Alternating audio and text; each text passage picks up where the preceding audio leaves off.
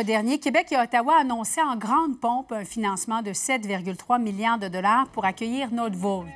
La construction de la future usine en Montérégie suscitait toutefois des craintes, notamment au plan environnemental. Mais voilà que l'entreprise suédoise a obtenu le feu vert et les travaux préparatoires pourraient même commencer dans les prochains jours. Catherine Bouchard. À peine trois mois après son annonce, Norval s'apprête à lancer ses travaux préparatoires.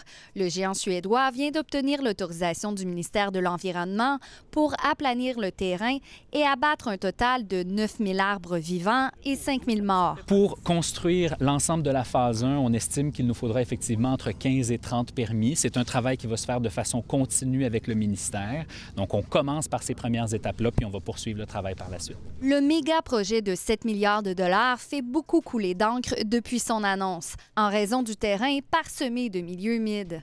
L'entreprise assure vouloir protéger les zones les plus sensibles, dont celle abritant le petit blonguillot, un oiseau considéré comme vulnérable. On sait qu'il y avait des contraintes sur le plan environnemental sur le site, mais puisqu'on veut bien faire les choses, on compense cette perte de milieu humide-là et ensuite, bien, on s'engage dans ce vaste projet de compensation. Pour compenser pour la destruction de milieux humides ici à Saint-Basile-le-Grand, l'entreprise Norvolt devra trouver un terrain de 30 à 50 hectares à protéger en Montérégie. La ville de Saint-Basile-le-Grand délivrera d'ici les prochains jours le permis pour débuter les travaux préparatoires. À chacune des étapes, s'assurer que les, les obligations qui proviennent du ministère de l'Environnement et qui sont ceux aussi de la municipalité, puis les engagements de la municipalité en termes d'environnement soient respectés. Et ça, on doit dire, jusqu'à date, on est assez rassuré. Mais pour des associations environnementales, le projet aurait dû passer devant le bureau d'audience publique en environnement. C'est clairement inacceptable que le gouvernement autorise les bulldozers à aller détruire des milieux naturels, dont des milieux humides,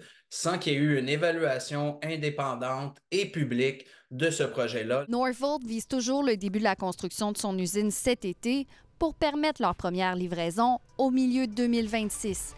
Catherine Bouchard, TVA Nouvelle, Saint-Basile-le-Grand.